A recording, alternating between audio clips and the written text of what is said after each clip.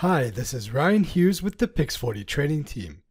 In this tutorial video, we will discuss how to upload a PIX4Dcatch project to PIX4Dcloud directly from your mobile device. Once you have finished capturing and saving a PIX4Dcatch project to your mobile device, you can upload the project directly to PIX4Dcloud for processing. After saving a project, the projects menu will open automatically. Alternatively, you can open the projects menu yourself. The projects menu shows you the different projects saved on your mobile device. At the top of the projects menu is a search bar to help you find projects by name. Underneath, you can filter the projects based on their current status. In this image, all the projects are visible, but I could have filtered only those captured but not uploaded, those processed on PIX4Dcloud, or those currently processing. Each project is identified with an image selected at random from the project. The name of each project is displayed, as well as the date of capture and the number of images. For each project, a green box will indicate whether the project was captured with RTK Precision or the GNSS receiver of the mobile device. A cloud icon is shown for each project as well. If this icon is green, the project has been uploaded to PIX4Dcloud. If the icon is gray, the project has not been uploaded. A purple icon indicates the project includes manual tie points. A blue icon of two overlapping circles indicates that a point collection has been associated with this dataset. The measurement data will be uploaded along with the images to georeference the project. Once we have selected the desired project, the interface will display a visual summary. On this screen, we can see a visualization of the quality of our RTK connection throughout the project area. If desired, we can see the images in the project, or the details about the quality of the image capture session, including the expected horizontal and vertical accuracy, the size of the project, and the image coordinate reference system. If we want to add a point collection to the project, we can tap on the overlapping circles at the bottom left and select the desired point collection.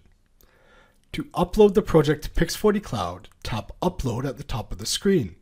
PIX4Dcatch will ensure that your account has a valid license before advancing to the next step. When uploading a project to PIX4Dcloud, you can select several options. When working with PIX4Dcloud Advanced, as shown in this image, you can choose whether to upload the dataset as a new dataset or assign it to an existing site. Assigning a PIX4Dcatch project to a site requires you to create the site on PIX4Dcloud before uploading.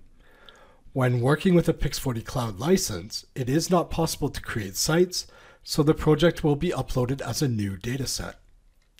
Depending on your account and organization status, you can modify where the dataset will be uploaded and stored.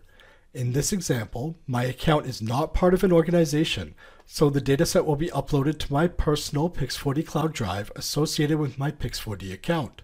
If you desire to calculate volumes or create elevation profiles in PIX4Dcloud, you must enable this option when uploading the project. It is not possible to modify this option after uploading the project.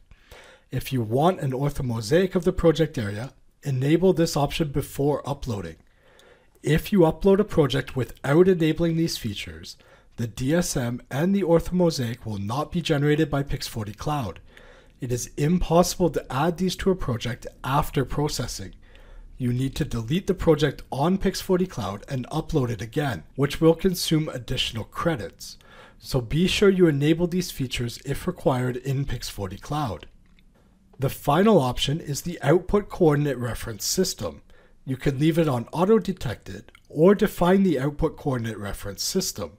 You can choose between a known coordinate reference system or work with an arbitrary coordinate reference system and site localization.